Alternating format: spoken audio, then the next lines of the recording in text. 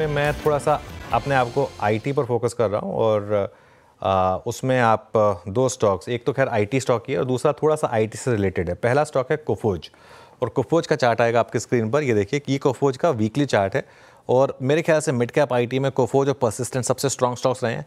कोफोज all time high पर और ये चार्ट देखिए क्या शानदार तरीके से स्टॉक ने ब्रेकआउट दिया है।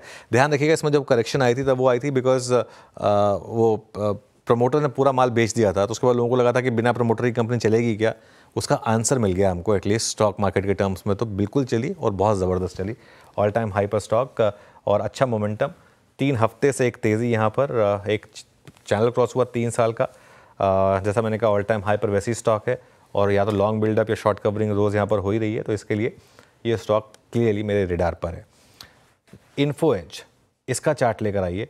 और इन्फो एज में देखिए, पहले तो चार्ट देखिए। अच्छा अगर आईटी कंपनियाँ हायर करती हैं तो सबसे इंपॉर्टेंट इन्फो एज होती है, क्योंकि उनका सबसे बड़ा क्लाइंट आईटी कंपनियाँ हैं। यही इन्फो एज का चार्ट भी बता रहा है। एक्चुअली देखिए मंथली चार्ट है। क्या शानदार ये स्टॉक रहा है।